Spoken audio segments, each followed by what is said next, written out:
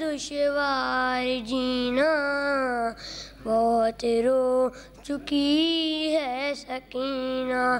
اللہ بہت رو چکی ہے سکینہ۔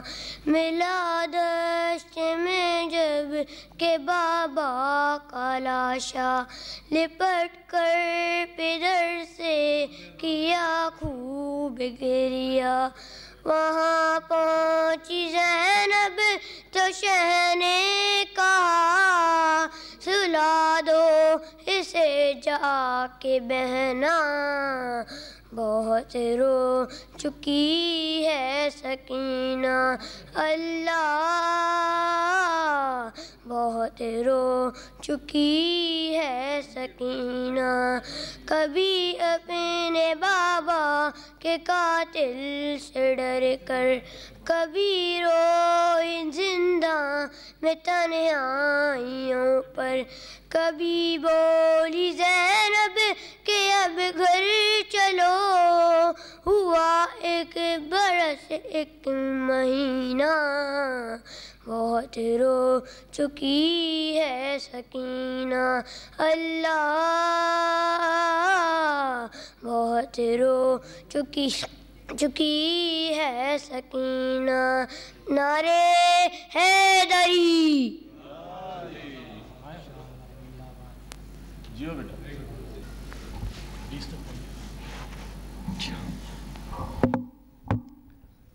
بابا سے بلند سلوات۔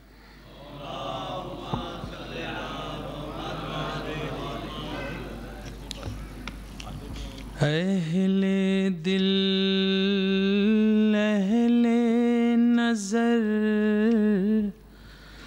حق ولی کہتے ہیں۔ لوح ایمان کا ایک خط جلی کہتے ہیں۔ صداقت کی محمد سے گواہی لے لو۔ صداقت کی محمد سے گواہی لے لو۔ فکر کی آخری منزل کو علی کہتے ہیں۔ سلوات بابا سے بلند۔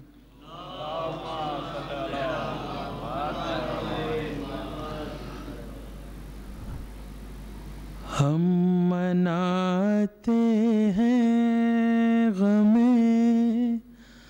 خاتون جنت آج بھی ہم مناتے ہیں غم خاتون جنت آج بھی سن کے رو دیتا ہے دل ان کی مصیبت آج بھی ہم مناتے ہیں غم خاتون جنت آج بھی دشمنوں نے ڈھا دیا تھا فاطمہ کا غم کدا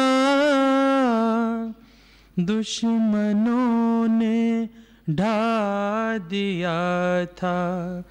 فاطمہ کا غم کدا اجڑی اجڑی اور بے سایہ ہے تربت آج بھی۔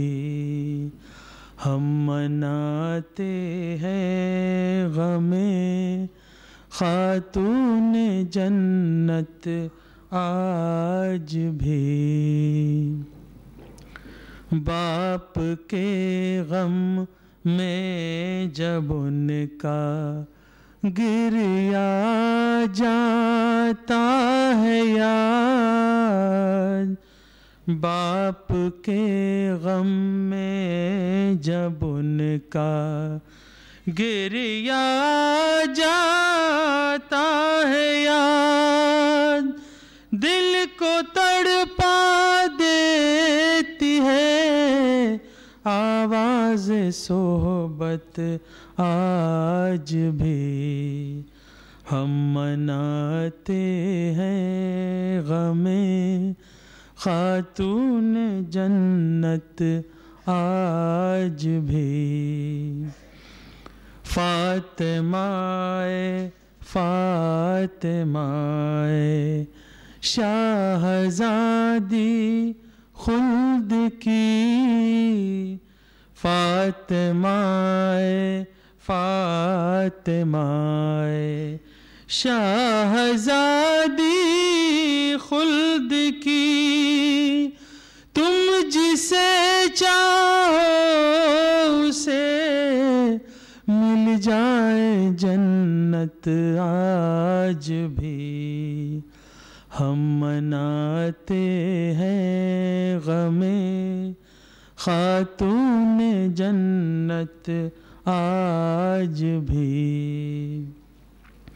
باپ کا شوہر کا غم اور گیارہ بیٹوں کا علم۔ باپ کا شوہر کا غم اور گیارہ بیٹوں کا علم۔ چین زہرا زیر تربت آج بھی ہم مناتے ہیں غم خاتون جنت آج بھی ہوتا ہے تسبیح زہرا سے نمازوں کو فروغ تسبیح زہرا سے نمازوں کو فروغ، ساری دنیا پر ہے روشن، یہ حقیقت آج بھی ہم مناتے ہیں غم خاتون جنت آج بھی ذرائے ناچیز کو خورشید تم نے کر دیا۔ ذرائے ناچیز کو خورشید تم نے کر دیا۔ اس کو حاصل ہے اسی نسبت سے شہرت آج بھی۔ ہم مناتے ہیں غم خاتون جنت آج بھی۔ سن کے رو دیتا ہے دل ان کی مصیبت آج بھی۔ سلوات باواز بلند۔ بقا بنے ہیں۔ وہی دین مصطفیٰ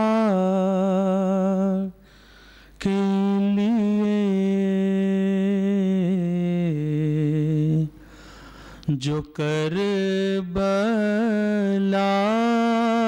میں تھے تیار ہر بلا کے لیے۔ حسین اب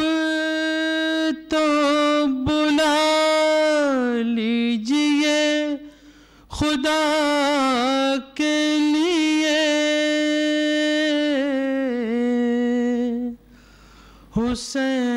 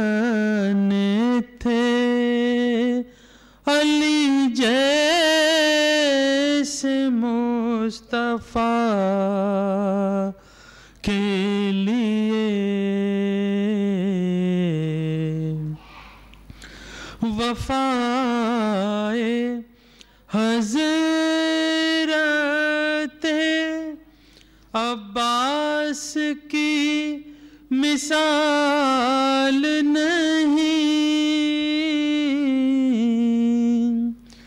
وفائے حضرت عباس کی مثال نہیں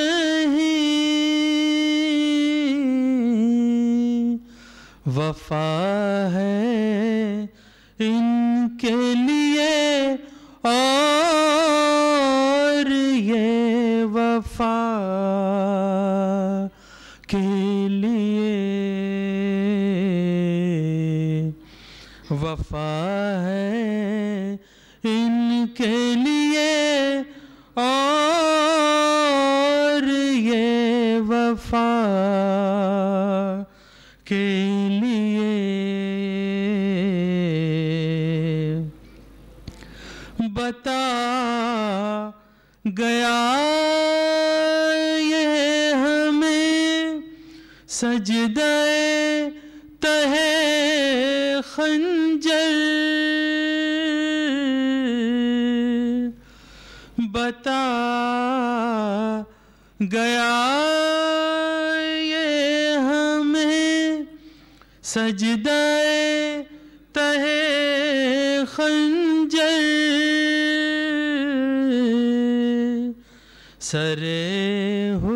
حسین جھکا ہے تو بس خدا کے لیے سر حسین جھکا ہے تو بس خدا کے لیے۔ شہید ہو کے یہ شارب بتا گئے ہیں حسین۔ شہید شارب بتا گئے ہیں حسین۔ جیو خدا کے لیے جان دو۔ خدا کے لیے۔ سلوات بابا سے بولیں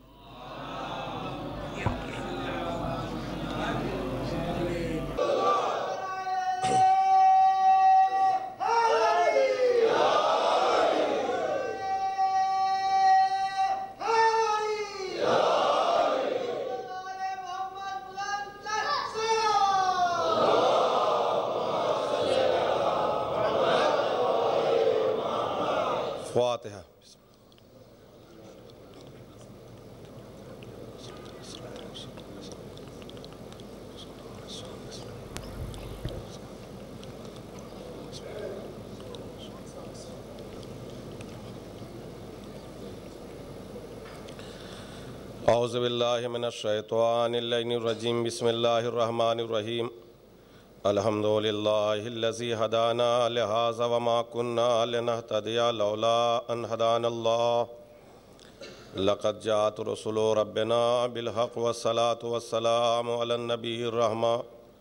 وشفيع الأمة وكاشف الغمة، صاحب الوقار والسكينة المدفون بأرض الطيبة المدينة. العبد المويد والرسل المسدد المصطفى الأمجد ومولانا بالقاسم محمد.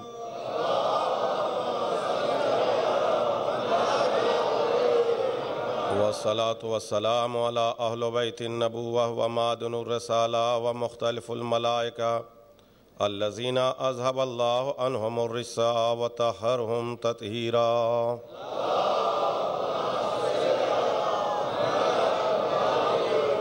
ولعنة الله على آدائهم وقتلتهم وغاصبي حقوقهم ومنكر فضائلهم ومصائب مجمعين اللهم عذبهم عذابا يستغيث منه أهل النار آمين يا رب العالمين أما بعد، فقد قال الله تبارك وتعالى وقوله الحق۔ بسم الله الرحمن الرحيم وكذلك جعلناكم أمة وسطا لتكونوا شهداء على الناس۔ صلوات پڑھ دے محمد وعلى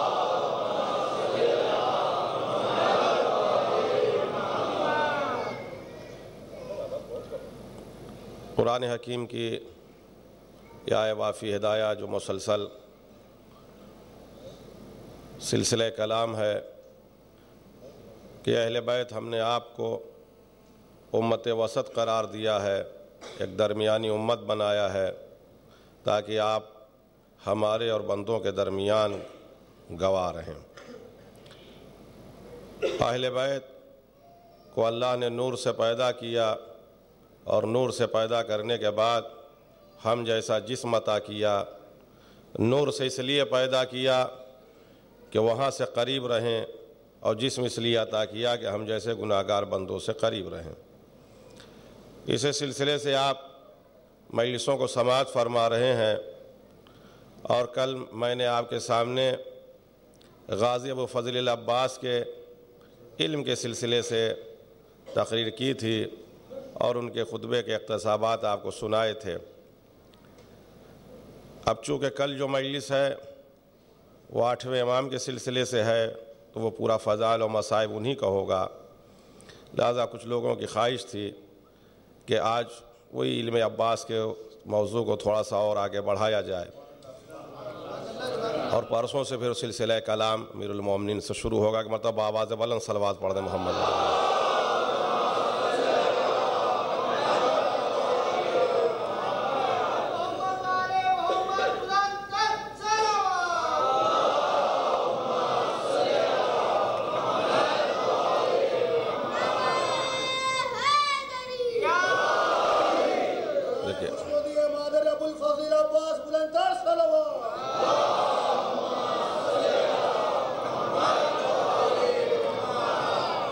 آج لاؤڈ اسپیکر بدلا ہے۔ مومنین تو وہی ہیں۔ ایک مرتبہ ایسے مل جل کے باواز بلند سلوات پڑھیں تاکہ پڑھیں۔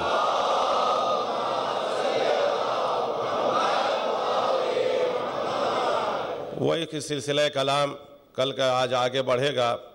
مگر دو باتیں مجھے آپ کے سامنے معروضات عرض کرنے ہیں کہ غازی ابو فضل العباس کے اوپر ایک یا دو مجلس ناکافی ہے، بلکہ عشرے ناکافی ہیں۔ اور صدیاں ناکافی ہیں ان کی عظمت و فضیلت کو سمجھنے کے لیے۔ مگر ہاں اگر سمجھنا ہے تو بس ایک جملے میں سمجھ سکتے ہیں کہ علی کی دعا کا نام عباس ہے۔ علی کی دعا کا نام عباس ہے۔ علی کی تمنا کا نام عباس ہے۔ دعا کا نام عباس ہے جو اللہ سے امیر المومنین نے مانگا تھا۔ اس دعا کا نام جناب عباس ہے۔ سورہ مبارکہ دہر اٹھا کے دیکھیے۔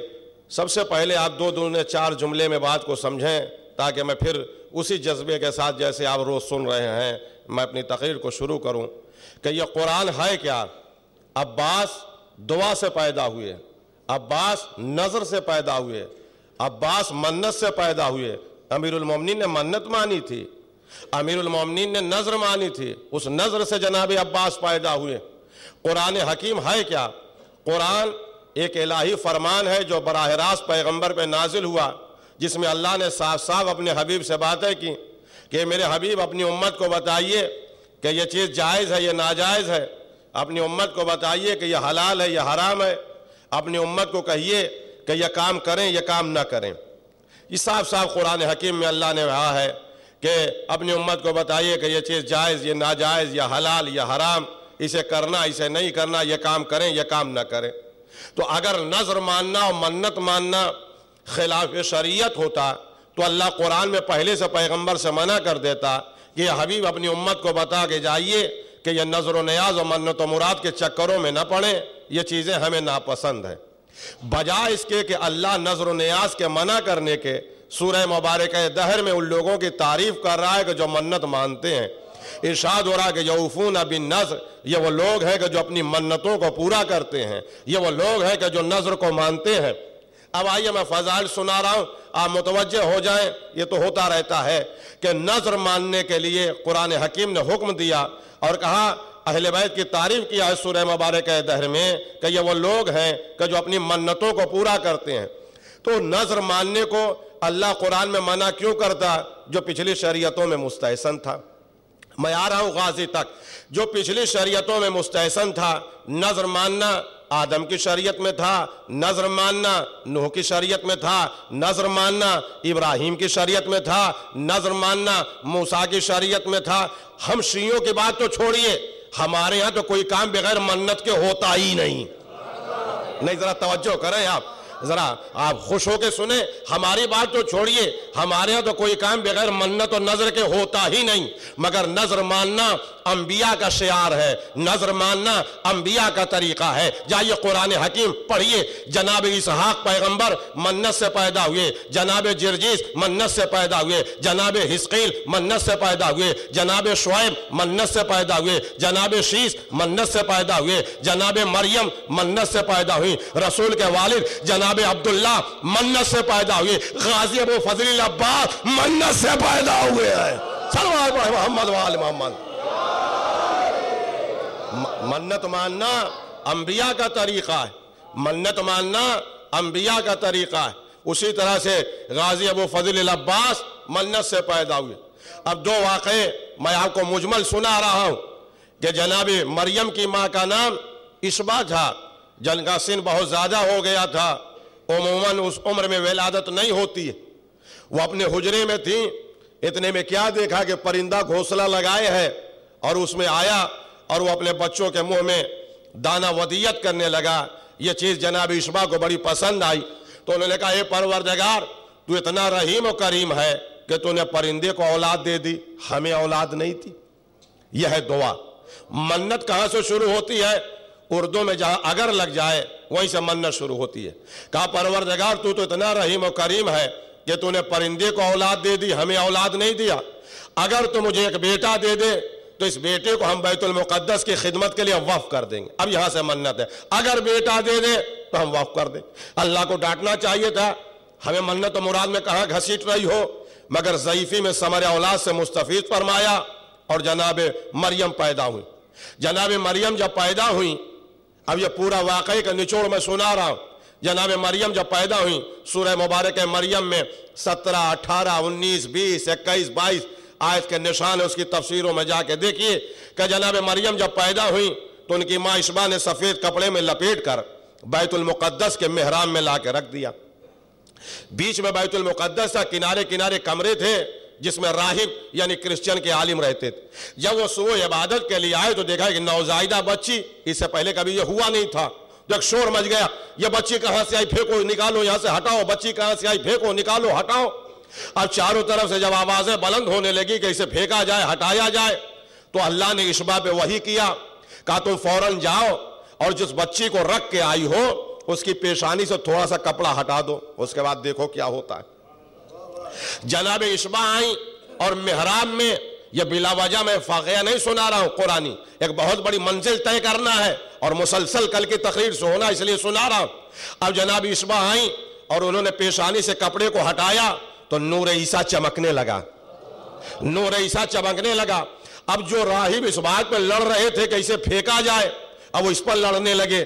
ہم پالیں گے، ہم پالیں گے، ہم پالیں گے۔ انہی میں بڑے راہب اور ابرار تھے۔ جناب زکریہ جو رشتے میں ان کے خالو تھے، ان کا ہم پالیں گے، اس کی دو وجہ ہے۔ ایک تو یہ ہے کہ ہم ابرار ہیں، دوسری وجہ ہے کہ ہم رشتہ دار ہیں۔ وہ کہا نہیں ہو سکتا۔ بہرحال طے یہ ہوا کہ جناب زکریہ نے ایک پرپوزل رکھا کہ جس لوہے کے قلم سے ہم توریت لکھتے ہیں، لوہے کا کام یہ ہے کہ پانی میں ڈالا جائے تو ڈوب جائے گا۔ لہذا اپنے اپنے قلم کو پانی میں پھینکو، جس کا قلم ڈوب جائے گا وہ محروم ہوگا، جس کا قلم پانی پہ تیرے گا، یہ کام فطرت کے خلاف ہوگا، لہذا وہی کفالت و پرورش کرے گا۔ چنانچہ سارے لوگوں نے اپنے قلم کو پھینکا، سب کا قلم ڈوب گیا زکریہ کا قلم تیرتا رہا، تو طے یہ ہوا کہ یہ کفالت زکریہ کے ذمہ جائے گی۔ زکریہ نے اپنے کمرے کے اوپر ایک کمرہ بنایا، لکڑی کی سیڑھی بنائی، جس سے اوپر جاتے تھے اور وہ کھانے وغیرہ دے کے چلے آتے تھے۔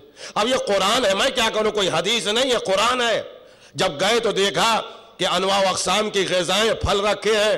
پوچھا، مریم، یہ سب کھانا کہاں سے آیا؟ کہا، جنت سے آیا۔ اللہ جسے چاہتا ہے بے حساب رشت دیتا ہے۔ نہیں، اب اس کے بعد واہ واہ کریں گے۔ جب میں فضائل سنو اب قرآن نے کیا کہا؟ مریم، طاہرہ، صدیقہ، مگر مریم کی سب سے بڑی فضیلت کیا ہے؟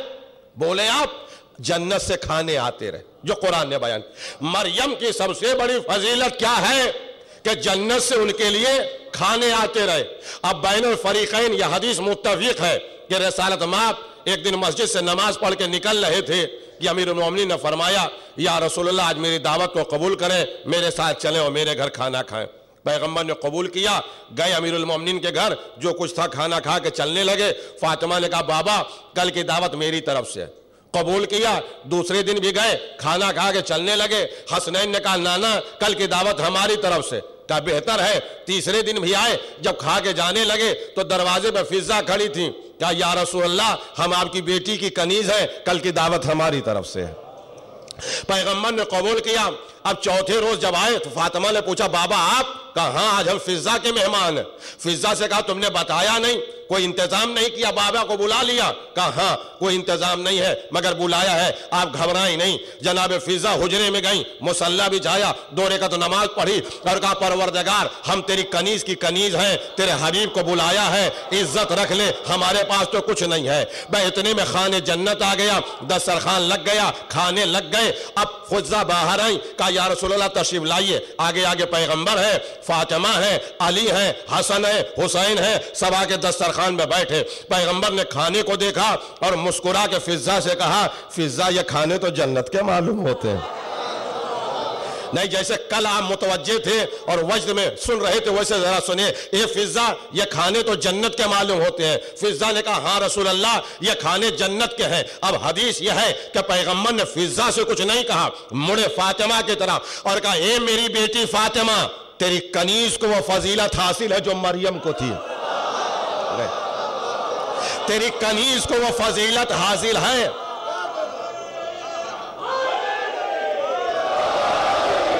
تیری کنیز کو وہ فضیلت حاصل ہے۔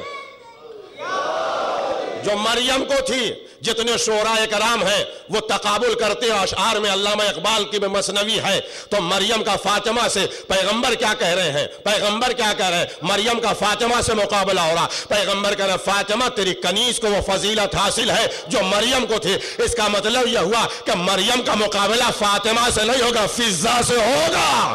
فاطمہ فاطمہ ہے۔ سلوات پڑھے، محمد و آل محمد۔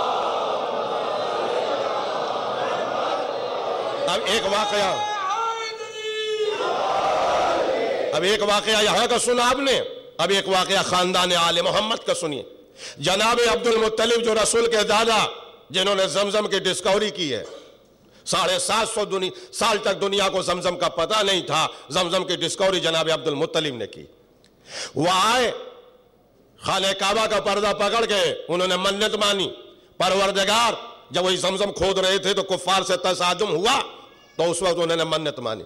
پروردگار تو مجھے اگر دس بیٹے دے دے، تو ایک بیٹا میں تیری راہ میں قربان کر دوں گا۔ دعا قبول ہو گئی، دس بیٹے ہو گئے۔ تو جب سب سے چھوٹے تھے جناب عبداللہ، ان کو تیار کر کے لے کے چلے۔ کہاں چلے؟ جہاں ابراہیم اسماعیل کو لے کے آئے تھے، مینا کے میدان۔ اب جب گھر سے نکلے، تو یہ خبر پورے مکے میں گشت کر گئی۔ تو مخزومیہ خاندان، جو ان کا نانیال تھا جناب عبداللہ کا، وہ ننگے ننگے تلواریں لے کے دوڑا اور راستے میں عبد المطلب کو روک لیا۔ کہا عبد المطلب، کیا ارادے ہیں؟ کہا، منت مانا ہے، منت پوری ہو گئی، بیٹے کو ذبح کرنے لے جا رہے ہیں کہا، سبحان اللہ۔ یہ بیٹا آپ کا تھوڑی، ہمارا بھی نواسا ہے۔ خالہ زاد بھائی مامو زاد بھائی، پورا نانیال تھا۔ سب آگئے سامنے، کہا، نہیں، ہم ذبح نہیں ہونے دیں۔ کہا، ہٹو ہمارے سامنے سے، منت پورا کرنے دو۔ کہا، نہیں جانے دیں گے، یہ ہمارا نواسا ہے۔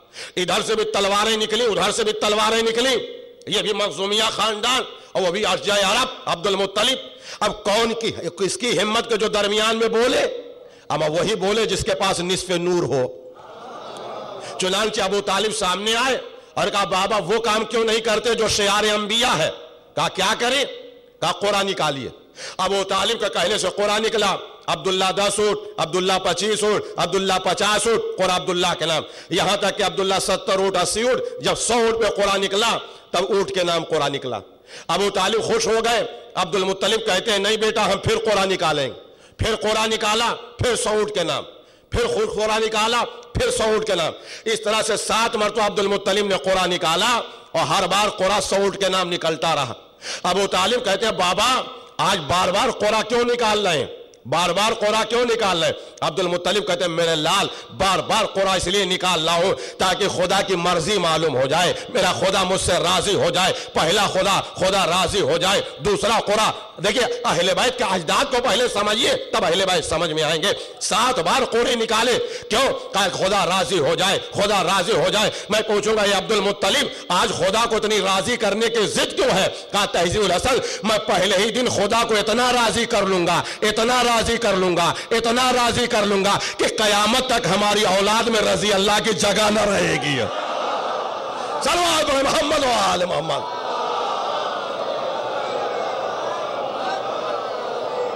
اب اس کے بعد چھری کے دھار کے نیچے سے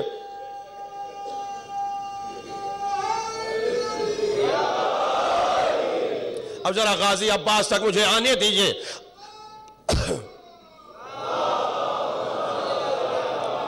اب چھری کی دھار کے نیچے سے جناب عبداللہ بچ گئے۔ چھری کے دھار کے نیچے سے جناب عبداللہ بچ گئے۔ پورے مکے نے دیکھا، ارے، یہ کوئی بچہ عام بچہ نہیں ہے، یہ تو وہاں سے زندہ جا رہا ہے، جہاں سے اسماعیل زندہ گئے۔ لہذا لوگ پیچھے پیچھے دوڑنے لگے۔ اور اب عبداللہ سے کہتے ہیں، عبداللہ میری بیٹی سے شادی کر لو۔ عبداللہ میری بیٹی سے شادی کر لو۔ عبداللہ میری بے... عبداللہ ایک نہیں کہ کینچی سے سارے رشتے کاٹ رہے تھے۔ کہا، نہیں نہیں۔ انہی میں مدینے کے سردار وہاں بھی تھے۔ وہ ادھر نہیں گئے جدھر مجمع گیا، بلکہ ادھر گئے جہاں گارجین اور سرپرست سے جناب عبد المطلب سے کہا، میری ایک بیٹی ہے جو نہایت عفیفہ و پاک دامن ہے اور تمہارے بیٹے سے مناسب رشتہ نہیں ہے۔ لہٰذا اگر آپ قبول کر لیے تو ہمارے لیے عزت افزائی ہوگی۔ جناب عبد المطلب نے قبول کیا، المختصر کے شادی ہو گئی اور رخصتی ہو گئی اور پھر مدینے سے جب جب جناب عبداللہ واپس آئے اور نور رسالت ماں بطن آمنہ میں منتقل ہو گیا، تو پھر اب تاریخ کا عجب جملہ ہے کہ ایک ایک دروازے پہ گئے اور دق کیا اور کہا، تم اپنی بیٹی سے رشتہ چاہ رہے تھے؟ ہم تیار ہیں۔ تم اپنی بیٹی سے رشتہ چاہ رہے تھے؟ ہم تیار ہیں۔ سارے عرب کا ایک جواب تھا، عبداللہ، تب ہم چاہ رہے تھے، تم نے نہیں کیا۔ اب تم چاہ رہے ہم نہیں کرتے۔ اب تم چاہ رہے ہم نہیں کرتے۔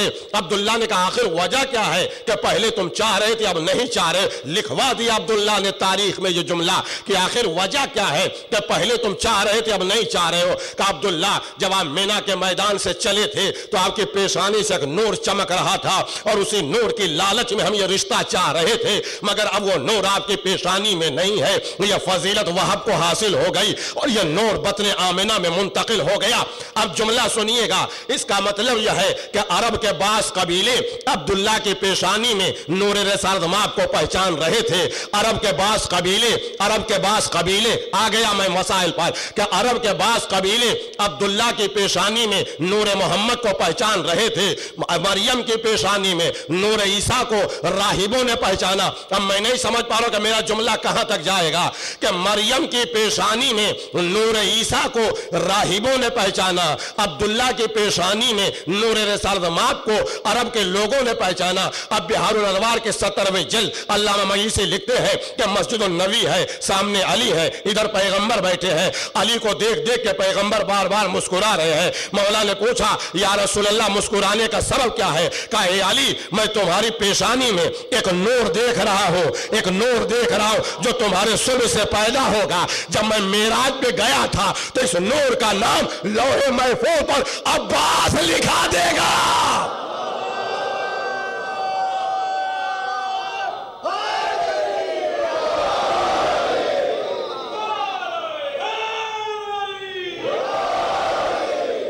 عباس کے نور کو رسالت امام نے پہچانا۔ اور اگر دوسری یا تیسری تقریر میری آپ کے اذہان عالیہ میں موجود ہے، تو علی نام خدا نے رکھا، عباس نام خدا نے رکھا۔ بہار کی سترہویں جلد میں اٹھا عباس نام خدا کا رکھا۔ جیسے علی نام خدا کا رکھا ہے، پنجتن کا نام خدا نے رکھا، ویسے ہی جناب عباس کا بھی نام اللہ نے رکھا، جس کا اعلان لوح محفوظ پر ہو چکا ہے۔ بر، میں پھر کہتا ہوں کہ جناب عباس کی فضیلت سمجھنے کے لیے یہی بات کافی ہے کہ علی کے جانشین ہیں علی کے بیٹے ہیں، علی کی تمنا ہے، علی کی دعا ہے۔ عباس میں کتنے کمالات ہوں گے، کوئی پیمانہ نہیں ہے کہ جس پہ ناپا جائے۔ عباس کتنے با کمال ہوں گے، علی کی دعا جانے، خدا کی عطا جانے۔ نہ مانگنے والے کے خلوص میں کوئی کمی ہے، نہ دینے والے کی عطا میں کوئی کمی۔ ہے مانگنے والا علی جیسا بے نیاز بندہ ہے، دینے والا پروردگار ہے۔ سروار بڑھے محمد و آل محمد۔ اب میں کل کے موضوع سے مسلسل ہو گیا کہ جناب عباس کے سلسلے میں شجاعت بیان کی جاتی ہے، وہ بھی پوری پڑھی نہیں جاتی۔ جناب عباس شجاعت جو اس میں کوئی دو رائے نہیں ہے اشجا تھے۔ مگر صرف جناب عباس شجاع نہیں تھے، اس لیے کہ شجاعت انسان کے زندگی کا ایک کمال ہے۔ عباس کل کمال کا نام ہے۔ عباس کل کمال کا نام۔ عباس جتنے بڑے شجاع اتنے بڑے عالم، اتنے بڑے سخی، اتنے بڑے رحیم، اتنے بڑے کریم۔ بھائی، ایک جملے میں سنیے، فضائل علی پڑھتے جائیے، اسی آئینے میں عباس کو دیکھتے جائیے۔ بال برابر بھی فرق نہیں رہے گا۔ اب آئیے مہینے میں عباس پہ تقریر کرنے جا رہا ہوں۔ ایک اردو میں بھی کتاب ہے، پاکستان سے چپی ہند، پاکستان دونوں جگہ بڑی مقبول ہے۔ مولانا جمل حسن صاحب کراروی کے ذکر العباس، اس میں بھی یہ واقعہ آپ کو مل جائے گا۔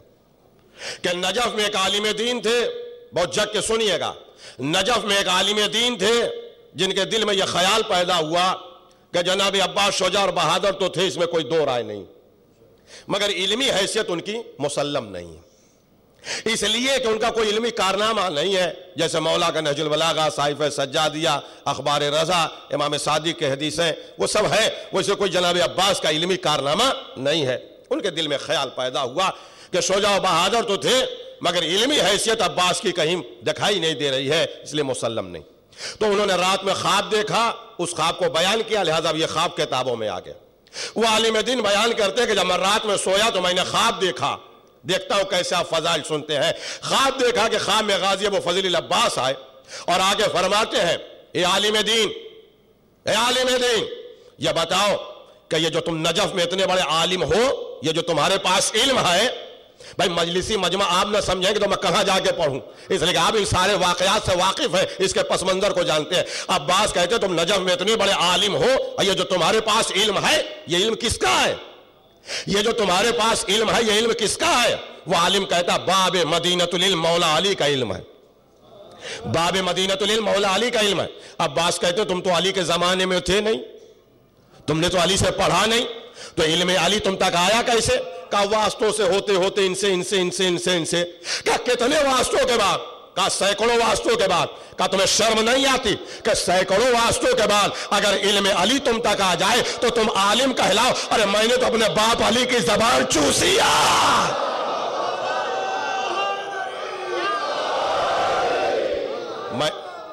میں نے۔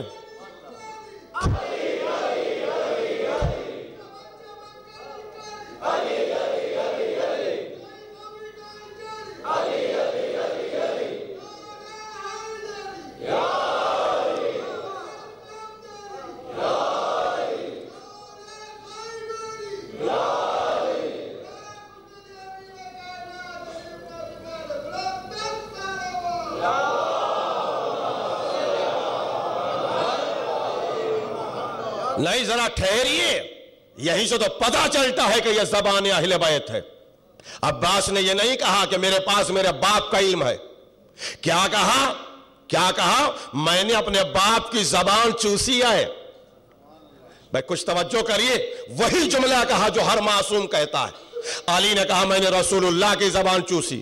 حسن اور حسین نے کہا میں نے نانا کی زبان چوسی۔ عباس نے کہا میں نے اپنے باپ علی کی زبان چوسی۔ کہیں کسی نے سنا ہو یا پڑھا ہو، کھڑا ہو کہ کہہ دے میرے علم میں اضافہ ہوگا، میں خوش ہوں گا۔ مجھے تو کہیں نہیں ملا کہ حسن اور حسین نے کبھی بھی فخر میں کہا کہ میں نے اپنے باپ علی کی زبان چوسی۔ کسی صاحب نے کہیں سنا ہو، پڑھا ہو، کھڑے ہو کے بولے کہ حسنین نے کہا ہو کہ میں نے فخر میں کہ میں نے اپنے بابا کی زبان چوسی۔ حسن اور حسین جب بولے تو کہا، میں نے نانا رسول اللہ کی زبان چوسی، میں نے نانا رسول اللہ کی زبان چوسی، میں نے نانا رسول اللہ کی زبان، میدان فضیلت میں غازی کھڑا ہو کے کہتا ہے، تنہا کہ میں نے اپنے باپ کی زبان چوسی۔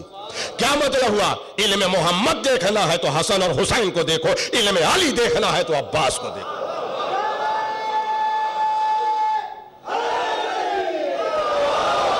نہیں میں چاہتا ہوں کہ آپ کھل کے تعریف کرو کھل کے سنیں کہ عباس علی کے وارث و جانشین آئے اب زیادہ آپ اس پر داد اس لیے نہیں دے رہے ہیں کہ میں بھی تیس سال سے میں اسے پڑھتا ہوں، آپ کی نفزیں ہاتھ میں کہ ذاکر سے زیادہ سامعین تیز دوڑ۔ یہ کیا کہہ رہے ہیں؟ عباس علی کے وارث ہیں، عباس علی کے وارث ہیں۔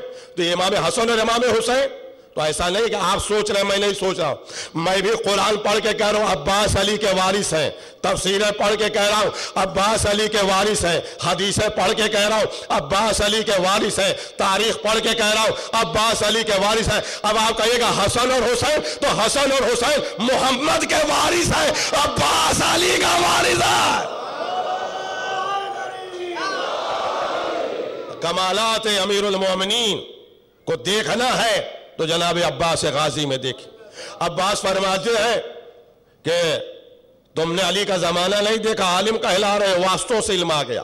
میں نے تو براہ راست اپنے باپ علی کی زبان چوسی ہے۔ زبان چوسنا کیا مطلب؟ ہمارے دسویں امام حضرت امام علی نقی علیہ السلام والسلام۔ ان کے ایک صحابی تھے جن کا نام ابھی ہاشم ہے، یہ محمد ابن حنفیہ کے پرپوتے ہیں۔ وہ اس روایت کے ناقل ہے کہ میں امام کی خدمت میں بیٹھا ہوا تھا۔ اتنے میں ایک شخص آیا اور عجب زبان میں امام سے باتیں کر رہا تھا اور امام اسی زبان میں اس کا جواب دے رہے تھے۔ جب چلا گیا تو ابھی ہاشم نے پوچھا، مولا یہ کون تھا؟ کس زبان میں کیا باتیں کر رہا تھا؟ امام نے فرمایا، یہ ہندی تھا، ہندوستان سے آیا تھا، ہندی زبان میں باتیں کر رہا تھا۔ وہ کہتے مولا آپ ہندی بھی جانتے ہیں؟ کہا، ہندی نہیں، میں دنیا کی ساری زبانیں جانتا ہوں۔ کہا، سب کی زبانیں جانتے ہیں؟ کہا ہاں۔ کہا، مولا کیا ہم ہندی سیکھ سکتے ہیں؟ اس زمانے میں ستر زبانیں بولی جاتی تھی۔ امام نے فرمایا، ہندی کیا تم ستروں زبان بول سکتے ہو؟ کہا، ستر زبان؟ کہا ہاں۔ کہا، کیسے مولا؟ کہا، وہ دور سنگریزہ پڑا ایک پتھر کا ٹکڑا لے کے آؤ۔ ابھی ہاشم دوڑے گئے، بیان کرتے میں لے کے آیا۔ امام نے ہاتھ سے گرد کو صاف کیا، زبان پہ رکھا، تھوڑا سا لعاب لگایا۔ ابھی ہاشم نے کہا، منہ میں رکھ لو۔ ابھی ہاشم بیان کرتے جیسے میں نے دہن میں رکھا ستروں زبان بولنے لگا۔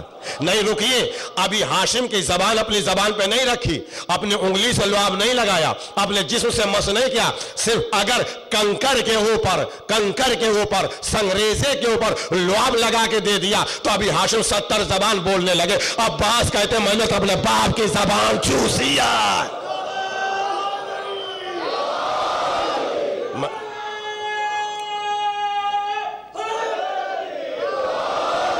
میں نے تو اپنے باپ کی زبان چوسی ہے، میں نے اپنے باپ کی زبان چوسی ہے۔ یعنی علی کی زبان جناب غازی ابو فضل العباس نے چوسی اور یہی وجہ ہے کہ امام نے فرمایا کہ آپ ایسے عالم ہیں کہ جس کو کسی نے نہیں پڑھایا۔ آپ ایسے عالم ہیں کہ جس کو کسی نے نہیں پڑھایا۔ جناب عباس بہت زیادہ خوبصورت تھے۔ جناب عباس بہت بڑے عالم تھے۔ جناب عباس بہت بڑے شجاع تھے۔ اب میں ہر طرح سے آپ کو محسوس کرنے کی کوشش کر رہا ہوں۔ اور ذرا اس طرح کی فکری باتیں بھی سنیے کہ اہل بیت کے ہاں کوئی بھی منصب قبلہ بیٹھے ہیں، رشتہ داریوں کی بنا پہ نہیں تقسیم ہوتے، اہلیت کی بنا پہ ہوتے اللہ نے کربلا کے لیے حسین کا انتخاب کیا۔ حسین نے پوری دنیا سے اپنے مقصد کی تکمیل کے لیے بہتر ہیروں کا انتخاب کیا۔ بہتر ہیروں کا انتخاب کیا جو حسین کے لشکر کے سپاہی بنے۔ ان سپاہیوں کے اندر تمام کمالات تو تھے، مگر موضوع علم ہے۔ ان سپاہیوں کی علمی حیثیت کا یہ عالم تھا کہ ایک ادنا سپاہی کو حسین فقی کہہ کے پکار رہے ہیں الہ رجل الفقی ترہ توجہ کریے میں کیا کہہ رہا ہوں۔ حبیب کو فقی کہہ کے پکارا۔ تو جس لشکر کا سپاہی فقی ہو، اس لشکر کا علمدار جو ہوگا، اس کے علم کا کیا عالم ہوگا؟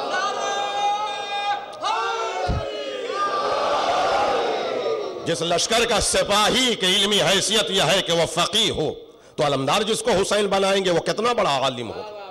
یہ ہے عباس کی علمی حیثیت۔ یہ ہے جناب عباس کی علمی حیثیت۔ دوسری بات، علامہ محقق فرماتے ہیں کہ دو چیزیں ہیں۔ ایک ہے صفت، ایک ہے موصوف۔ دنیا کا فارمولہ ہے، کسی لائن میں آپ چلے جائیے۔ کہ موصوف کا ذکر کریے تو صفت سمجھ میں آتی ہے۔ مگر کہیں ایسا نہیں ہے کہ صفت کا ذکر کریے اور موصوف سمجھ میں آئے۔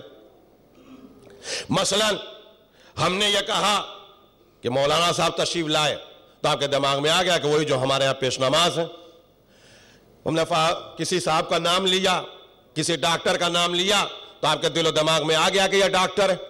کسی انجینئر کا نام لیا تو پیشہ آپ کے دماغ میں آ گیا کہ یہ پیشے سے انجینئر ہے۔ کسی بزنس مین کا نام لیا تو یہ آپ کے توجہ میں آ گیا کہ یہ کاروبار کرتے ہیں۔ مگر دنیا میں کہیں ایسا نہیں ہے کہ کوئی کہے، مولانا نے کہا تو کسی خاص مولانا کی طرف ذہن چلا جائے۔ ذاکر اہل بیت پڑھ رہے ہیں تو کسی مخصوص ذاکر کی طرف چلا جائے۔ ڈاکٹر کہیں تو کسی مخصوص ڈاکٹر کا تصور ذہن میں آ جائے۔ نہیں، موصوف کا ذکر کریے گا تو صفت سمجھ میں آئے گی۔ مگر صفت کا ذکر کرنے سے ڈاکٹر کہیں تو پورے دبئی میں کوئی ایک ڈاکٹر سمجھ میں آ جائے۔ نہیں، عالم کہیں تو کوئی ایک عالم سمجھ میں آ جائے۔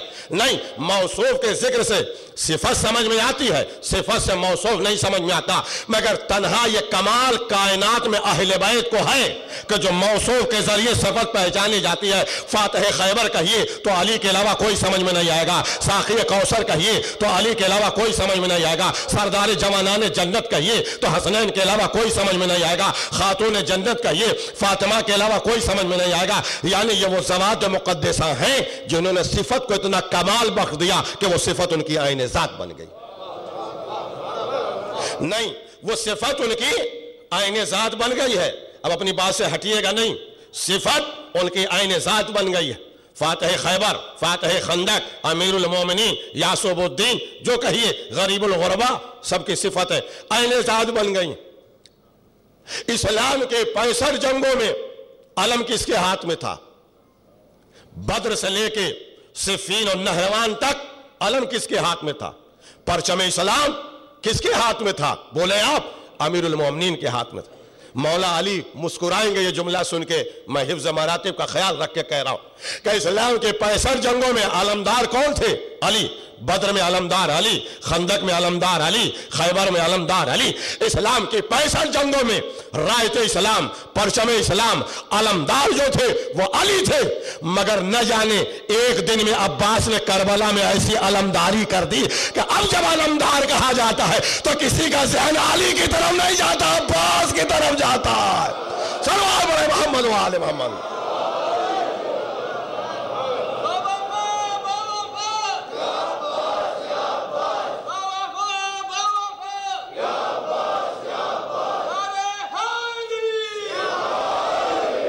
اب جب علمدار کہا جاتا ہے تو کسی کا تبادر کہیں نہیں جاتا۔ علمدار کا مطلب عباس۔ علمدار یعنی جناب عباس نے ایسی علمداری کر دی ایک دن میں کہ دنیا کے سارے علمداروں پہ غالب آ اب اسی کے لیے میں نے یہ پوری تمہید اتنی بنائی۔ دنیا کا کوئی بھی ملک ہو، ہر ملک میں ایک لیڈر ہوتا ہے، ایک کمانڈر ہوتا ہے۔ لیڈر کا کام یہ ہوتا ہے کہ وہ پالیسی طے کرے۔ اور کمانڈر کا کام یہ ہوتا ہے کہ وہ آرمی اور جنگ کو کنٹرول کرے۔ دونوں کا کام بٹے۔ لیڈر، پھر سنیے آپ، لیڈر کا کام یہ ہے، تب کربلا سمجھ میں آئے گی۔ لیڈر کا کام یہ ہے کہ وہ پالیسی طے کرے۔ کمانڈر کا کام یہ ہے کہ وہ جنگ کو کنٹرول کرے۔ کس ملک سے کیسے تعلقات ہوں گے، یہ آرمی نہیں طے کرے گی۔ یہ پریسیڈنٹ وزیر اعظم طے کرے گا۔ کس ملک سے کاروبار کیسے ہو، یہ پارلیمنٹ طے کرے گی، یہ پریسیڈنٹ اور وزیر اعظم طے کرے گا۔ کس ملک سے کیسے تعلقات ہو، یہ لیڈر پریسیڈنٹ، وزیر اعظم پارلیمنٹ طے کرے گی۔ آرمی سے کوئی مطلب نہیں۔ مگر ابھی کسی ملک میں جھگڑا ہو جائے، جنگ چھڑ جائے، تو اب جب آرمی کو لکھ کے دے دیا گیا، پریسیڈنٹ نے کہہ دیا کہ اب حملہ ہو، تو اب ہوائی حملہ ہو، پیدل کا حملہ ہو، بحری حملہ ہو کیسے حملہ ہو؟ اب لیڈر سے کوئی مطلب نہیں ہے، اب کمانڈر سے مطلب۔ اب آرمی کا چیف کنٹرول کرے گا، اب اس میں کمانڈر، لیڈر دخل اندازی نہیں کر سکتا۔ جب سگنیچر کر کے دے دیا، تو اب جنگ کیسے ہو؟ وہ کمانڈر کنٹرول کرے گا۔ کربلا میں بھی ایک لیڈر تھا، ایک کمانڈر تھا۔ لیڈر کا نام حسین ابن علی تھا، کمانڈر کا نام عباس ابن علی تھا۔ یہ علی کے دونوں بیٹے کی دونوں کی ذمہ داریاں الگ الگ تھی آئیے عباس کو میں سمجھاؤں کیا تھا؟ پھر میں کہہ رہا ہوں کہ لیڈر پالیسی طے کرے گا۔ یہ لڑائی مدینے میں ہو کہ کربلا میں ہو، لیڈر طے کرے گا۔ اٹھائیس رجب کو کہے نکلو تو نکلنا پڑے گا۔ مکے میں رکو تو رکنا پڑے گا۔ آٹھ ذی الحجہ کو کہے مکہ چھوڑو تو چھوڑنا پڑے گا۔ کیوں؟ اس لیے کہ پالیسی لیڈر طے کرے گا، کمانڈر نہیں طے کرے گا۔ اب دو محرم کو کربلا میں آ گیا قافلہ۔ فرات کے کنارے سے خیمے ہٹیں، نہ ہٹیں، لیڈر طے کرے گا۔ اب اگر حسین کہے کہ خیمے ہٹاؤ، دور ریت پہ لگاؤ تو لگانا پڑے گا۔ نو محرم کو اگر لیڈر کہہ دے میں مسائل نہیں پڑھ رہا ہوں، فضائل سنا رہا ہوں۔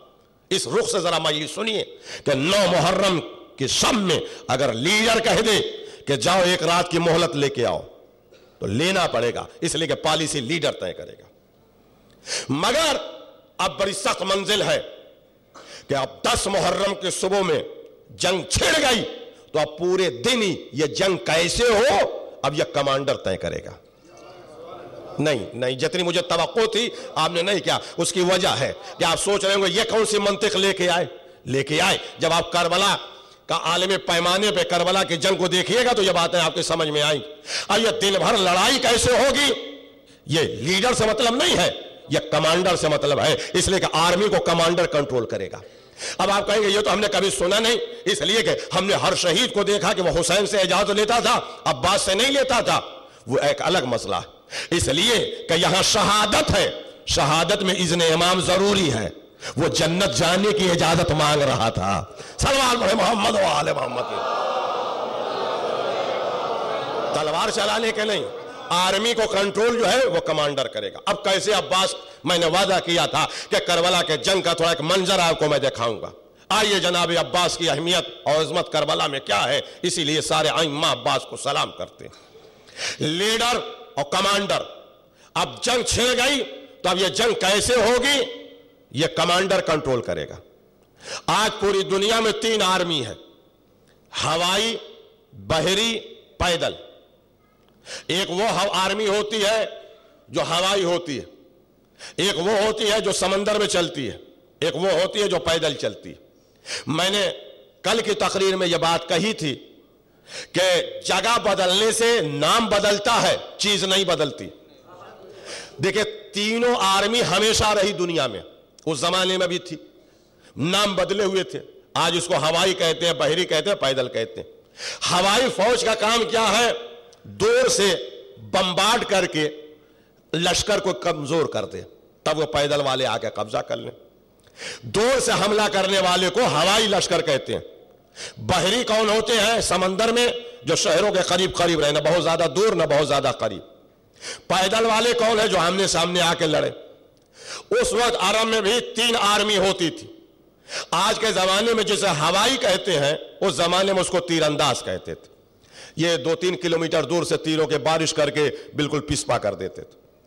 آج جس کو آپ بحری کہتے ہیں، اس زمانے میں اس کو نیزہ بردار کہتے تھے، جو نہ بہت قریب سے، نہ بہت دور سے، پانچ سو میٹر دور سے مار دیتے تھے۔ اور آج جس کو پیدل کی فوج آپ کہتے ہیں، وہ تلوار بردار تھے جو آمنے سامنے لڑتے تھے۔ کربلا میں بھی یزید کی طرف سے یہ تینوں آرمی آئی تھی۔ تیر انداز بھی آئے تھے، نیزہ بردار بھی آئے تھے، تلوار بردار بھی آئے تھے۔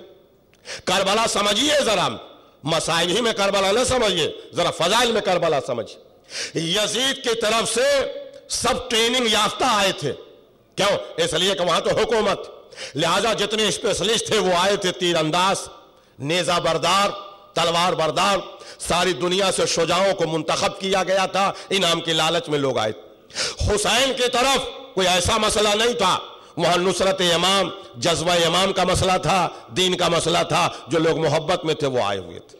دونوں کا یہ فرق۔ تیر انداز بھی تھے، نیزہ بردار بھی تھے، تلوار بردار تھے۔ حسین کی طرف سب جذبہ ایمانی کے تحت آئے تھے۔ یہ دونوں لشکر کا فرق سمجھی اب ایک بات اور سمجھیے تاکہ فضائل آپ کی سمجھ میں آئے کہ جو ہوائی فوج ہوگی، اس کی ہوائی کی ٹریننگ ہے، وہ پیدل نہیں لڑ پائے گی۔ جو پیدل ہوں گے، وہ جہاز نہیں اڑا پائیں گے۔ اور جو ہوائی اور پیدل ہوں گے، وہ بحری حملہ نہیں کر پائیں گے، وہ سمندر میں جہاز نہیں دوڑا پائیں گے۔ تو سب کی ٹریننگ الگ الگ ہوتی۔ اس بات کو میرے نوجوان اپنے ذہن میں بیٹھا لیں۔ ہوائی فوج پیدل نہیں لڑ پائے گے پیدل ہوائی فوج نہیں لڑ پائے گے دونوں مل کے بحری نہیں ہو پائیں گے۔ اسی طرح سے عرب میں جو تیر انداز تھے، وہ نیزہ بردار نہیں تھے، جو نیزہ بردار تھے، وہ تیر انداز نہیں تھے، جو تلوار چلانا جانتے تھے، وہ تیر اور نیزے کے ماہر نہیں تھے۔ تینوں کی ٹریننگ الگ الگ تھی۔ اب نماز صبح جب امام حسین پڑھنا چاہ رہے تھے، تو ہمارے ساتھ ایک ٹیلے پہ آیا اپنا لشکر لے کے اور کہا، اب جنگ شروع ہو جائے۔ اور تاریخ لکھتی ہے کہ کم سے کم تیس ہزار تیر اندازوں کا لشکر لے کے ہمارے ساتھ سامنے آ کے میں آپ کے سر پہ قرآن رکھتا ہوں، رکھا ہے قرآن۔ کوئی صاحب بہت بڑے دانشور ہو، تو بتائیے کہ پچاس، ساٹھ، ستر آدمی کو لے کے تیس ہزار کے لشکر سے تین کلومیٹر دور سے کون لڑ لے گا؟ دو کلومیٹر دور سے۔ وہ تیر انداز دور ہے، سامنے تو آئے نہیں۔ کون لڑ لے گا؟ دنیا کا کوئی ماہر ہو آ کے بتائے کہ کربلا کی لڑائی کیسے ہینڈل ہوگی۔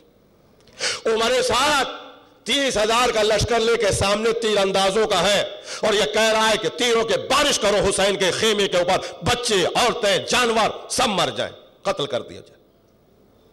عباس چیف کمانڈر اپنے گھوڑے پہ سوار ہو کے یہ منظر دیکھ رہے ہیں، تیروں کی بارش ہونے والی۔ تیروں کی بارش ہونے والی ہے۔ یہ دور ہے، وہ دور ہے۔ وہاں سے دور سے تیر پھینکیں گے۔ آپ بتائیے کون سی منطق ہے لاجک ہے کہ جو لڑ لے؟ کربلا کی لڑائی پانچ منٹ سے زیادہ کی نہیں چلنے والی تھی۔ اور میرے ساتھ یہی چاہ رہا تھا کہ حسین کو پسپا کر دیا جائے اور حسین کے لشکر کو بالکل ختم کر دیا جائے۔ لہذا تیس ہزار کا لشکر، اگر ایک آدمی کے پاس ایک تیر ہے تو تیس ہزار تیر ہے اور ایک تیر نہیں تھا، پورا پورے ترکش پیشتوں پہ رکھے رہتے تھے۔ تیس ہزار کا لشکر سامنے آ کے کھڑا ہو گیا کہ تیروں کے بارش کر کے حسین کے لشکر کو ختم کر دو، پسپا کر دو۔ یہ کائنات کا واحد کمانڈر ہے عباس، جس نے بھاپا منظر کو۔ اور اپنے لشکر سے کہا کہ تم سب خیمے کا باہر آؤ باہر آؤ۔ اب دیکھتا ہوں کون نوجوان خاموشی سنتا ہے۔ آپ کے دل و دماغ میں جتنی عباس سے محبت ہے، اتنی توجہ سے آپ سنیں گے کیسے کمانڈ کیا عباس نے۔ کوئی منطق نہیں ہے، مگر آئیے جو تاریخ بتاتی ہے کہ جناب عباس نے اپنے لشکر سے کہا، خیمے جانوروں کے بھی آگے آ جاؤ اور اپنے ہاتھ میں تلواریں لے لو اور ایسے صف لگا کے کھڑے ہو جاؤ۔ بالکل، سیدھے سیدھے جیسے جماعت کھڑی ہوتی نماز پڑھنے کے لیے صف لگا کے کھڑے ہوتے اور عباس اپنے گھوڑے کے اوپر کھڑے ہیں۔ دیکھ رہے ادھر اس کا ایکشن کے کیا چل رہا ہے معاملہ۔ ادھر وہ لشکر آ گیا تیر اندازوں کا۔ جناب عباس اپنے لشکر کو اب ٹریننگ دے رہے ہیں۔ نیا لشکر ہے۔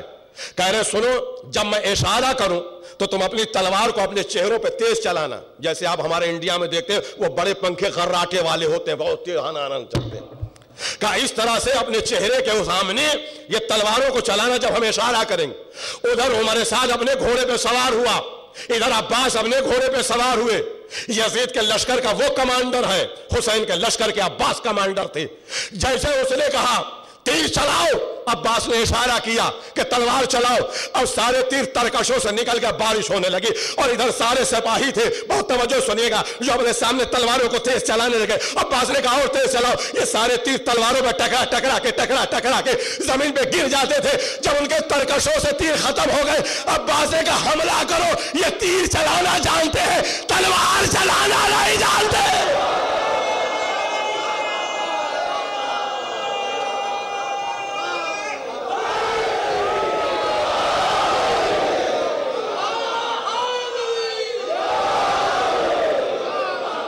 حملہ کرو چلانا جانتے ہیں۔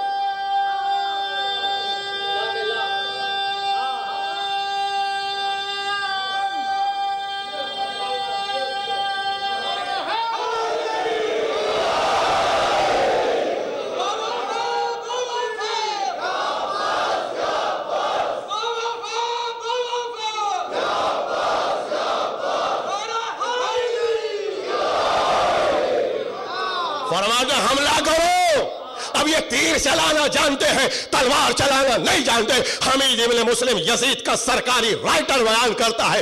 اب جب عباس اپنے لشکر کو لے کے حملہ ور ہوئے تو ایک دوسرے پہ گرتے رہے اور قتل ہوتے رہے۔ تیس ہزار کے لشکر میں صرف پانچ ہزار زندہ واپس گئے۔ پچیس ہزار واصل جہنم پہلے حملے میں ہوئے۔ یہ کائنات کا پہلا کمانڈر ہے۔ سلام محمد وآل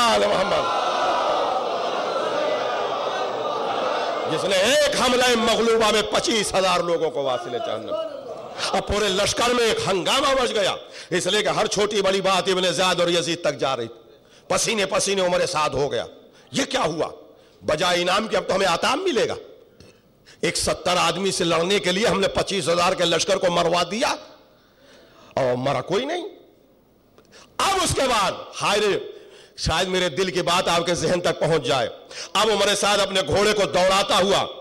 عباس اور حسین کے پاس آیا اور کہتا کہ ہم یہ چاہتے ہیں کہ اس طرح سے اجماعی لڑائی نہ ہو، بلکہ فردن فردن لڑا جائے۔ آپ کی طرف سے آئیں، ہماری طرف سے آئیں۔ حسین نے کہا، ٹھیک ہے، ہمیں منظور ہے۔ عباس نے کہا ہاں آقا، ہمیں منظور ہے۔ فردن فردن جانے کے لیے۔ یہ جو ایک ایک کی لڑائی ہوئی، یہ حسین کی طرف سے پہل نہیں تھی، عمر سعد کی مجبوری تھی۔ اب جب چلنے لگے، تو اب اس کے بعد بھی جناب عباس صبح سے لے کے آسر کے پہلے تک شہادت تک عباس کے بارے میں حمید اور سارے راوی بتاتے ہیں، ہما وقت اپنے گھوڑے پہ سوار لیس رہتے تھے ایسے ہی۔ اور جو شہید جاتا تھا لڑنے کے لیے، لڑتا رہتا تھا، عباس ایسے ہی کھڑے رہتے تھے، بڑے کھڑے رہتے اور اگر اس نے پکارا مدد کے لیے گھر گیا ہزاروں کے مجمع میں، اور جیسے ہی مدد کے لیے پکارا، تو عباس کے مدد کا طریقہ یہ ہوتا تھا کہ اپنا گھوڑا دوڑاتے ہوئے اس پار سے اس پار جاتے تھے، اس پار سے اس پار آتے تھے۔ اتنے میں لشکر بھاگ جاتا تھا، اس کو سکون مل جاتا تھا، اور پھر وہ تازہ دم ہو کے لڑنے لگتا تھا۔ یہ تھی عباس کی مدد۔ ہما وقت اپنے گھوڑے پہ سوار مرتجس پہ تھا اچھا سنیے آپ، یہ معاملہ چلتا رہا۔ دو چار گھنٹہ چلا۔ زہر سے پہلے کا یہ واقعہ ہے کہ اب پھر شمر اور یہ سب ملے اور باتیں ہونے لگیں کہ یہ تو بہت معاملہ گڑبڑ ہو گیا اور ہم تو قبضہ ہی نہیں کر پا رہے ہیں اور یہ تو ستر، پچاس، ساٹھ آدمی ہم پہ حاوی ہو گئے، چھ لاکھ کا لشکر ہوگا کیا؟ لہذا اب ان کے تھوڑے حوصلے بلند ہوئے تو یہ ہوا کیا پھر سے حملہ کیا جائے؟ تو اب تیر والی آرمی تو ان کی تیتر بیتر ہو گئی تھی۔ لہذا اب نیزہ برداروں کو جمع کیا انہوں نے۔ نیزہ برداروں کو۔ نیزہ بردار، یہ نیزہ بردار۔ پھر سب سے سمجھیے گا، میں ایک ہی جملے پر پورا نقطہ ہے کہ جو تیر چلانا جائیں گے وہ تلوار نہیں، جو تلوار چلانا جانیں گے وہ تیر نہیں، جو نیزہ چلانا جائیں گے وہ تلوار اب نیزہ برداروں کو انہوں نے جمع کیا، یہ واقعہ زہر سے پہلے کا ہے۔ زہر سے پہلے کا یہ واقعہ ہے۔ اور کہا کہ اب ان کے اوپر ایک ساتھ حملہ کیا جائے۔ جناب عباس نے جب دیکھا کہ اب یہ نیزہ برداروں کو لے کے آ رہے ہیں میدان میں، تو اب جیسے وی لکھا جاتا ہے انگریزی میں، ایسے یہ وی کی طرح اپنا لشکر لے کے عمر ساتھ چلا نیزہ برداروں کا، ایسے گھیر کے۔ جناب عباس کے پاس اس وقت تیس یا پینتیس افراد موجود تھے، جو تاریخ بتاتی۔ جناب عباس نے کہا، تم سب خیمے سے کافی دور نکلو، چلو میدان میں۔ میدان میں لے کے آئے اپنے آدمیوں کو۔ اور ادھر سے یہ وی کر کے گھیرتے ہوئے آ رہے تھے کہ تیس پینتیس آدمی کو ایک ساتھ مار دیا جائے۔ ایسے گھیر رہے، تاکہ نہ ادھر بھاگ پائیں، نہ ادھر جا پائیں ایسے حلقے میں لے لیا جائے۔ جناب عباس نے کہا کہ اپنے تیس پینتیس آدمیوں سے کہ اپنے نیزے کو ریت میں گاڑ کے ایسے بیٹھ جاؤ۔ ایسے نیزے کو گاڑ لو ایسے بیٹھ جاؤ گرو جیسے بیٹھتے ہیں۔ یہ سارے لوگ نیزے گاڑ کے ایسے بیٹھ گئے، تیس پینتیس آدمی۔ اچھا یہ سمجھے تھے کہ عباس حملہ کریں گے ہمارے اوپر۔ اب وہ تو ایسے گاڑ کے بیٹھ گئے۔ اب یہ ایک ہزار کے فٹ کی دوری پہ آئے کوئی ایکشن نہیں آٹھ سو پہ آ گئے کوئی ایکشن نہیں پانچ سو پہ آ گئے کوئی ایکشن نہیں چار سو پہ آ گئے کہ میں عباس اور ان کا لشکر کچھ کر کیوں نہیں رہا؟ تھک گئے گھائل ہو گئے۔ یا حسین کا استغفر اللہ ساتھ نہیں دیں گے؟ معاملہ کیا ہے؟ کچھ یہ تو کچھ کری نہیں حرکت ہی نہیں ہے ان کے اندر۔ اور جناب عباس تیس آدمیوں کو لیے ہوئے۔ ایسے کہتے اسے اب یہ وی کی طرح چل رہے ہیں وی کی طرح سے گھیرے ہوئے ہیں۔ اور بہت بڑا لشکر ہے جس کی تعداد چھبیس ہزار بتائی جاتی ہے نیزہ برداروں۔ ایسے گھیر رہے ہیں، ان کے پیچھے لکیر، ان کے پیچھے لائن، ان کے پیچھے لائن، ان کے پیچھے لائن، اور یہ سب وی کی طرح ایسے گھیرے ہوئے چل رہے ہیں۔ ایک کے پیچھے ایک ایک کے پیچھے ایک، گھوڑ سوار ہیں اور سب نیزہ بردار جناب عباس، کچھ بول ہی نہیں رہے ہیں۔ اب یہ آپس میں باتیں کر رہے کیا ہے کیا ہے؟ یہ کیوں نہیں اٹھ رہے ہیں؟ یہ کیوں نہیں کوئی ایکشن کر رہے ہیں؟ یہ کیا معاملہ ہے؟ یہ کیا تھک گئے ہیں اور نہیں لڑ پائیں گے؟ کیا ہے پیاسے ہیں، بھوکے ہیں اور بالکل قریب سے قریب تر آ گئے۔ جب بالکل سو گز کے فاصلے پر رہ گئے اور قریب تھا کہ وہ لوگ حملہ ور ہوتے، جناب عباس نے کہا، اٹھو ان پر حملہ کر دو ایک ساتھ۔ حملہ کرو ان کے اوپر۔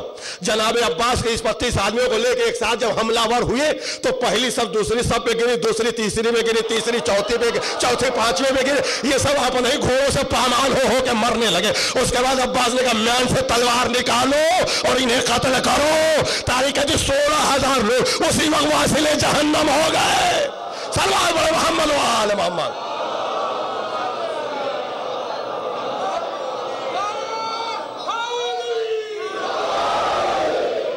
سولہ ہزار لوگ اسی وقت جہنم ہوئے۔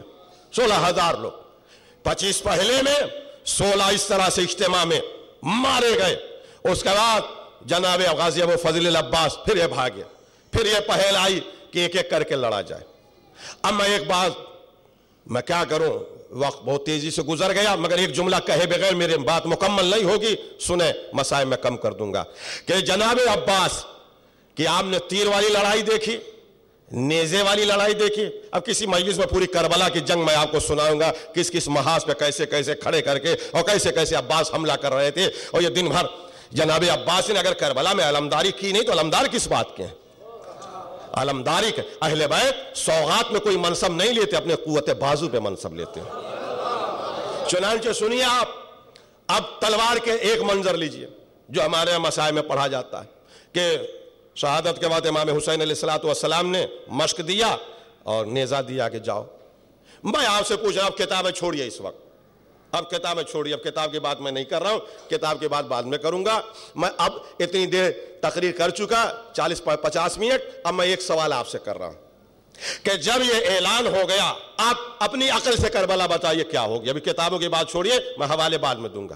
اپنی عقل سے ہر آدمی یہ سوچے کہ ہم کربلا میں ہیں۔ اپنی عقل سے آپ بتائیے، اللہ نے اتنی عقل ہر آدمی کو دی ہے۔ اس میں مذہب کی کوئی بات نہیں۔ اپنی عقل سے آدمی فیصلہ کرے کہ ادھر اعلان ہوا کہ عباس پانی لینے کے لیے جا رہے ہیں۔ ہم ہر آدمی کی عقل، اللہ نے دیا عقل استعمال کریے آپ۔ اعلان ہوا کہ عباس فرات کی طرف پانی لینے کے لیے جا رہے ہیں۔ فویزید کا بچہ بچہ، عباس کے حسب، نصب، شجاعت، ہر چیز سے واقف ہے۔ سب سے واقف۔ عباس پانی لینے کے لیے مشق لے کے جا رہے ہیں۔ فوج یزید میں بھی اعلان ہو گیا کہ عباس جا رہے ہیں۔ تو فوج یزید نے کیا ایکشن کیا ہوگا؟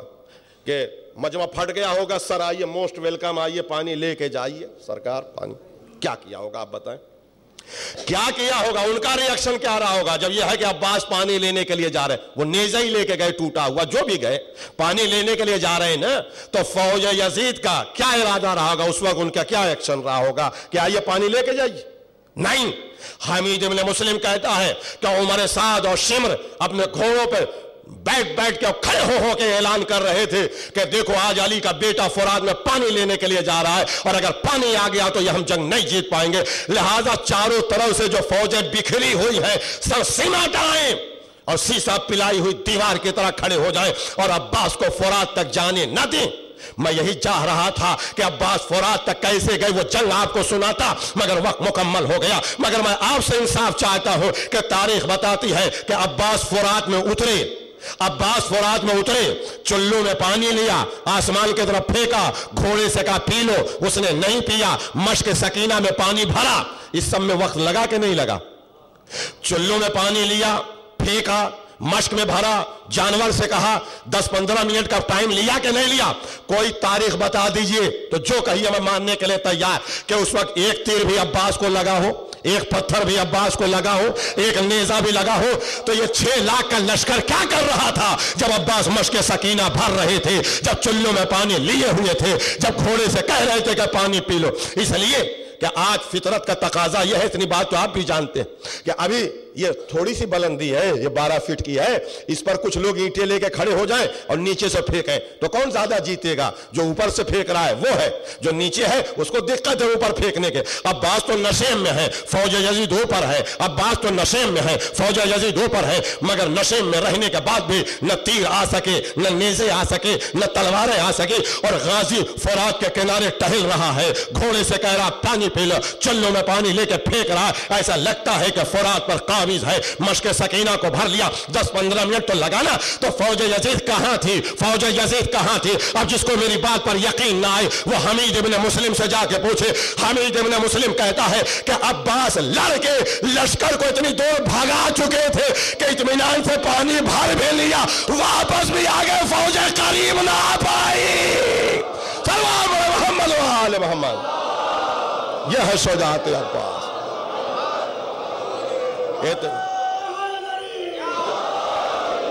اتنے دور بھگا دیا تھا، اتنی دور لڑ کے بھگا دیا تھا کہ اطمینان سے فرات میں اتر بھی گئے، پانی بھی بھر لیا۔ گھوڑے سے بھی کہا، وہ الگ بات ہے، پانی نہیں پیا۔ چلو میں پانی لیا، پھینک دیا۔ یہ سب کرنے کے بعد واپس آ گئے۔ مگر اس کے بعد بھی فوج یزید قریب نہ آ سکی تھی۔ یہ جناب عباس کی شجاعت۔ جناب عباس کی شجاعت تھی جناب عباس نے کربلا میں اپنے لشکر کی حیات بڑھا دیا تھا، اپنے لشکر کی زندگی بڑھا دی تھی۔ جو لڑائی پانچ منٹ میں ختم ہو جاتی، اس کو اصل عاشور تک عباس نے کھینچ دیا تھا۔ اسی لیے عباس کو غازی کہتے ہیں، اسی لیے عباس کو علمدار کہتے ہیں۔ اس لیے کہ جناب عباس نے جیسی کربلا علمداری کیا، کسی نے نہیں علمداری کیا۔ اور یہی وجہ ہے کہ ہر شہید یا تو جناب عباس کو پکارتا تھا یا امام حسین علیہ السلام کو پکارتا۔ اور جناب عباس اور امام حسین علی مقام مدد کے لیے پہنچتے تھے۔ جناب عباس اور امام حسین علیہ السلام مدد کے لیے پہنچتے تھے۔ بس ازادارو اسی لیے جناب عباس باب الحسین ہیں۔ جناب عباس باب الحوائج ہیں۔ جتنی دعائیں ہیں، وہ غازی ابو فضل العباس کے دروازے پہ قبول ہوتی۔ کمل اللہ، خدا آپ کو کسی غم میں نہ لائے سوائے غم سید الشہداء میں۔ میں نے ایک واقعہ پڑھا تھا علم عباس کے سلسلے میں کہ نجف میں ایک عالم تھے جن کے دل میں یہ خیال پیدا ہوا۔ وہ واقعہ میں نے سنا دیا۔ اب میں چاہتا دوسرا ایک واقعہ نجف کا سنا کے اور اسی پہ مسائب ختم کر دو اور وہ واقعہ آپ کے رونے کے لیے کافی ہوگا۔ یہ بھی واقعہ ہے نجف اشرف کا۔ آج سے ایک سو سولہ سال پرانا ہے۔ کہ ایک سید طالب علم تھا۔ نجف اشرف میں اشتہاد کا درس لے رہے تھے، سید تھے، طالب علم تھے، مگر بہت جذباتی تھے اور بہت امام حسین علیہ السلام اور کربلا سے بڑی عقیدت، غازی ابو فضل العباس سے بڑی محبت تھی۔ چنانچہ وہ روز رات میں جب اپنے کمرے میں آتے تھے تو کمرہ بند کر کے مسائب کربلا پڑھتے تھے اور پڑھتے پڑھتے ایک ایسی وجدانی کیفیت آ جاتی تھی کہ اپنے سر و سینے کے پیٹنے لگتے تھے اور پیٹنے کے بعد زعفر جن کو برا بھلا کہتے تھے۔ زعفر جن کو برا بھلا کہتے تھے اور کہتے تھے یہ زعفر جن میں کبھی تجھے چھوڑوں گا نہیں، میں محشر میں تمہارا دامن پکڑوں گا رسول اللہ کے سامنے تیرا دامن پکڑیں گے، فاطمہ کے سامنے تمہارا دامن پکڑیں گے، اس لیے کہ تم نے حسین کی مدد نہیں کیا۔ جب تم کربلا میں آئے تھے تو حسین زندہ تھے، واپس کیوں گئے؟ اگر تم نے مدد کیا ہوتا تو کم سے کم آقا تو بچ جاتے، غازی عباس بچ جاتے، کم سے کم اہل بیت اسیر تو نہ ہوتے، کم سے کم سکینہ کو تماچے تو نہ لگتے، کم سے کم سجاد کے ہاتھ ہاتھوں میں ہتھکڑیاں اور بیڑیاں نہ آتی لہذا روز آنا، اس کا مشغلہ یہ تھا کہ خوب چیخ مار کے روتا تھا سرو سینہ پیٹتا تھا اور آخر میں زعفر جن کو برا بھلا کہتا تھا زعفر جن ہم تمہیں معاف نہ کریں گے۔ تمہاری وجہ سے اہل بے تصیر ہوئے۔ اگر تم مدد کیے ہوتے تو یہ نہ ہوتا۔ جب کئی دن مسلسل یہ ہو رہا تھا، تو اب وہ اس خواب کو بیان کرتے ہیں کہ ایک دن میں رو رہا تھا اور ایسے ہی زعفر جن کو برا بھلا کہہ رہا تھا کہ خود بخود میرا دروازہ کھل گیا اور ایک ڈراؤنی پرانی صورت سامنے آ گئی۔ میں کانپنے لگا۔ اس نے رو کے آواز دیا، سید، تم آل رسول ہو۔ ہم تمہیں کوئی نقصان نہیں پہنچائیں گے۔ سید تم آل رسول ہو، ہم تمہیں کوئی نقصان نہ پہنچائیں گے۔ تم ڈرو نہیں، ہم ہی زعفر جن ہیں، ہم ہی زعفر جن ہیں۔ تم مہینے سے روز روتے ہو حسین پہ اور ہمیں برا بھلا کہتے ہو۔ تو میں نے سوچا کہ کیوں نہ آج میں چل کے تم سے خود مل لو اے سید، اگر تمہارے سینے میں دل ہے اور دل میں انصاف ہے، تم انصاف سے بتاؤ ہماری خطا کیا ہے؟ ہماری کیا غلطی ہے کہ جو تم ہمیں روز برا بھلا کہتے ہو؟ ہماری خطا کیا ہے؟ ہماری غلطی کیا ہے؟ سید کہتے ہیں کہ تو نے امام حسین کا ساتھ نہیں دیا۔ اگر تم نے حسین کو بچا لیا ہوتا تو آقا شہید نہ ہوتے بیبیاں آسیر نہ ہوتی۔ بیک متضا ورجن رو کے کہتا، سید کربلا میں تم نہ تھے، ہم تھے۔ اے سید لو لو منو ان ہم واقعات کربلا تمہیں سنا رہے ہیں۔ اس کے بعد انصاف سے بتاؤ کہ ہماری غلطی کیا ہے۔ سید کانپنے لگے، کہا، ڈرو مت خوف زدہ مت ہو۔ وہ ہم کو سمجھا دو کہ ہماری غلطی کیا ہے، ہم مان لیں گے۔ اے سید، جب ہم حدود کربلا میں داخل ہوئے، تو اس وقت عالم یہ تھا کہ حسین کے سارے اصحاب و انصار مارے جا چکے تھے۔ حسین علی اصغر کو بھی دفن کر چکے تھے اور خون میں نہائے ہوئے آقا مختل میں کھڑے ہوئے تھے۔ میں نے آ کے ہاتھوں کو جوڑ کے کہا، آقا ان کی مجال جو آپ کو قتل کریں، آقا ان کی مجال جو آپ کو شہید کریں، اے مولا ہمیں اجازت دے دیئے اے آقا ہمیں اجازت دے دیئے حسین نے کہا زافر جن، تم جنات ہو، یہ انسان ہے، کیسے مقابلہ ہوگا؟ کہا، نہیں مولا، میں انسان بن کے لڑوں گا۔ امام نے فرمایا، نہیں، تمہارا نام فرحت شہدہ میں نہیں ہے۔ کہا، نہیں مولا، میں نہیں جاؤں گا، مجھے اجازت دیجیے، میں یہاں سے نہیں جاؤں گا۔ بیکمتہ میں نے کہا زافر جن، تم چلے جاؤ یہاں سے۔ زافر جن کہتا ہے، مولا، میں نہیں جاؤں گا۔ امام نے فرمایا نہیں، میرا حکم ہے تم یہاں سے جاؤ، ہمیں امتحان دینے دو۔ کہا زاورجن کہتا ہے، سید، میں نے کہا، آقا، یہ کیسے ہو سکتا ہے کہ میں آپ کو اس مظلومی کے حالت میں چھوڑ کے چلا جاؤں؟ ان لوگوں نے آپ کو اللہ ہماری سمجھا ہے، ان لوگوں نے آپ کو مجبور سمجھا ہے۔ ہمیں اجازت دیئے اے سید، میں سچ کہتا ہوں، بکوتا حسین رونے لگے۔ اور روگ کہتے ہیں زاور جن مدد کی ضرورت نہیں ہے۔ آج میں منزل امتحان میں ہوں۔ اگر مدد کی ضرورت ہوتی تو وہ دیکھو، میرا بابا علی تلوار لے کے کھڑا ہے۔ وہ میرے بھیا حسن کھڑے ہیں۔ وہ میرا نانا رسول اللہ میرے امتحان کو دیکھ رہا ہے۔ ایزا فرجن ذرا زمین سے آسمان کے طرف تو دیکھو۔ اے سید، میں سچ کہتا ہوں، زمین سے آسمان تک سارے ملائکہ تلوار لیے ہوئے کھڑے تھے۔ میں نے کہا، آقا، یہ کیا ہے؟ کہا، یہ سب خدا سے اجازت مانگ رہے ہیں۔ یہ سب میرے نانا سے اجازت مانگ رہے ہیں۔ مگر آج میں منزل امتحان میں ہوں۔ ایزا فرجن تم چلے جاؤ۔ سید، بتاؤ میں کیا کرتا؟ پھر بھی میں نے کہا کہ میں نہیں جاؤں گا۔ میں آپ کی نصرت و مدد کروں گا بیتنی میں حسین نے رو کے کہا، ٹھیک ہے، میرے نانا سے یاد مانگو، اگر وہ دے دے تو رک جاؤ۔ میں گیا ہاتھ جوڑ کے کہا، یا رسول اللہ، اجازت دے دیجیے۔ پیغمبر نے منہ پھیر لیا اور انگلی سے علی کی طرف اشارہ کر دیا۔ میں علی کے پاس آیا، مولا، اجازت دے دیجیے۔ حسین زبا ہو رہے، دیکھا نہیں جاتا۔ علی نے منہ پھیر لیا، فاطمہ کی طرف اشارہ کر دیا۔ میں نے کہا، شہزادی، آپ تو ماں ہیں، اجازت دے دیجیے۔ فاطمہ رو کے کہتی صاحب زعفر جیل زعفر میرا بیٹا منزل امتحان میں ہے۔ مو پھیر کے حسن کی طرف اشارہ کر دیا۔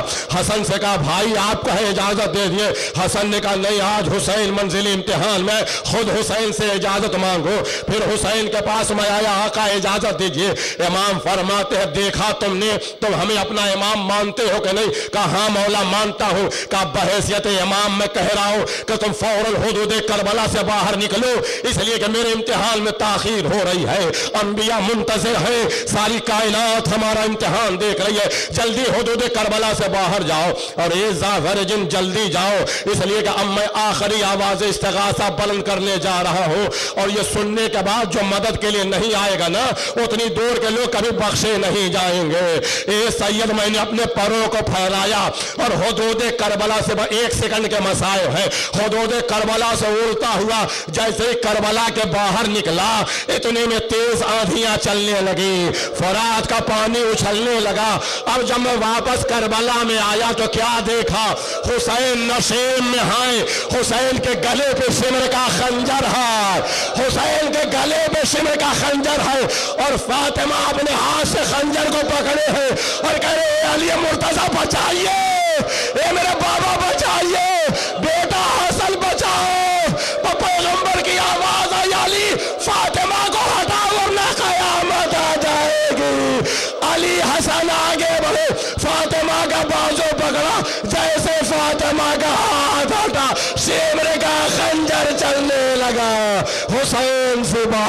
گئے، ہماری خطا کیا ہے؟